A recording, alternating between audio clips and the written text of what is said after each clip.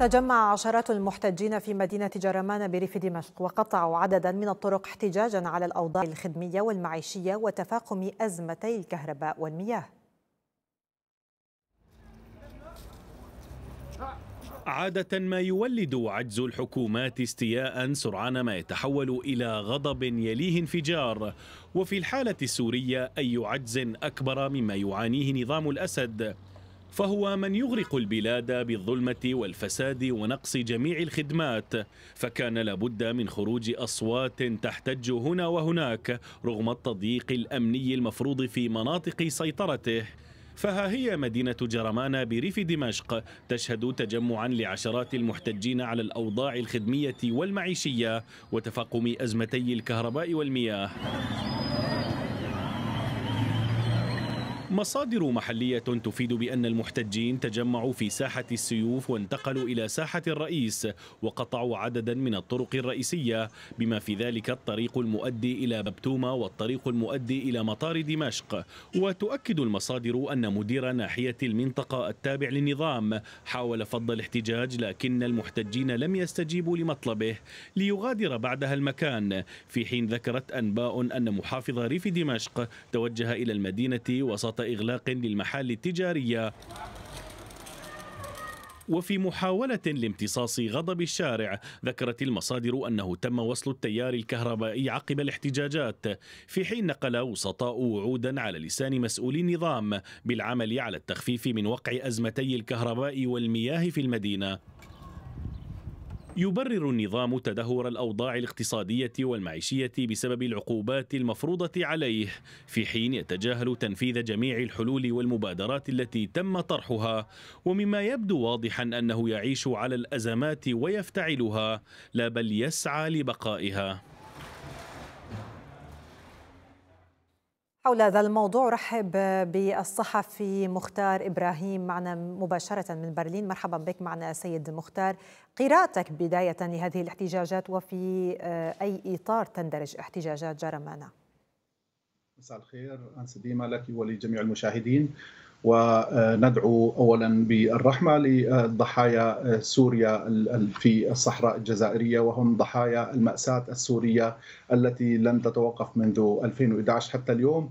وبالتاكيد ما يحصل في جرمانة هو له مؤشرات ودلائل خطيرة جدا حيث أن جرمانة تمتد من السيدة زينب إلى عين ترمى وجسرين ومن الشاغور إلى عين ترمى كل هذا الامتداد الواسع بالقرب من قلب العاصمة دمشق يجعل من أي احتجاج وخصوصا في الساحات الرئيسية لجرمانة في ساحة السيوف وساحة الرئيس وأمام مبنى البلدية يعطي لها دلالات يعني لا تقل أهمية عما يحصل في السويداء وسيما وأن الأوضاع المعيشية فعلا تتفاقم تقصد هي امتداد ربما أن تكون امتداد لاحتجاجات السويداء؟ يمكن قراءتها بهذا المجال ويمكن أيضا النظر إليها أبعد من ذلك حيث أن جرمانه تضم مهجرين من غالبية المناطق السورية والمدن السورية. فالاحتجاجات فعلا تمثل هنا جميع السوريين بكافة أطيافهم لأن جرمانه تضاعفت أعدادها في السنوات الأخيرة بأعداد كبيرة من المهاجرين. و أيضا يمكن قراءتها بأن ما يحصل في سويدا وعدم تجاوب مع أي مطلب من مطالبهم على الأقل الخدمية هو يعطي أو يسد كل الأفق ولا يعطي أي بصيص أمل ب ولكن توقيت خروج الأهالي وهذه الاحتجاجات بجرمانه توقيت يعني الاحتجاجات الآن لماذا الآن؟ يعني مسألة الأوضاع المعيشية وسوء الخدمات ومسألة المياه والكهرباء ليست بجديدة على الأهالي في المناطق الخاضعة للنظام. بالتأكيد ولكن ما يحصل هو فعلا بشكل متسارع. يعني رفع أسعار المحروقات خلال أقل من أسبوعين مرتين على التوالي هذا يعطي بأن يوما عن يوم الأوضاع تزيد سوءا في سوريا وأن الناس لم تعد تطيق الأوضاع وانقطاع التيار الكهربائي بدها تزيد عن 20 ساعة في بعض المناطق بعض المناطق لأيام وأسعار المحروقات التي تنذر بأن المواصلات سوف تتعطل وتتوقف من جديد وعدم وجود أي تجاوب أو رفع ل الرواتب والأجور في سوريا للموظفين وباقي العاملين.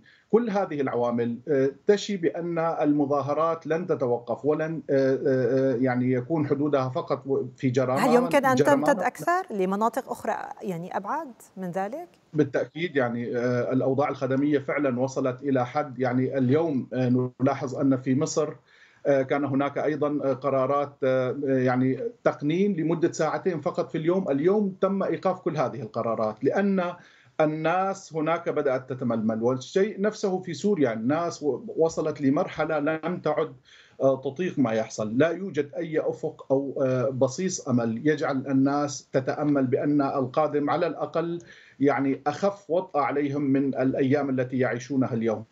وهذا ما حصل في جرمانة يعني عندما تنطلق المظاهرات من أمام البلدية يتم إغلاق طرق وتعطيل الحياة هناك يعني أن الناس وصلت لمرحلة لن تعود إلى أين بتقديرك يمكن أن تذهب الأمور؟ نحن نتحدث اليوم عن متطلبات أساسية معيشية قديمة ليست بجديدة، إلى أين ممكن أن تذهب الأمور؟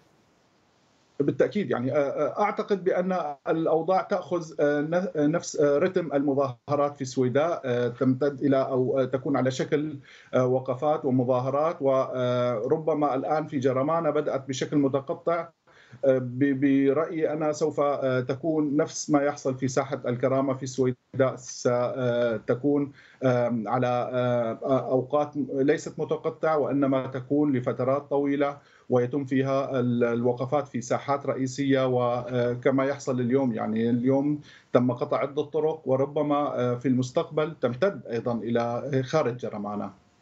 شكرا جزيلا لك ضيفي من برلين الصحفي مختار إبراهيم. شكرا لك.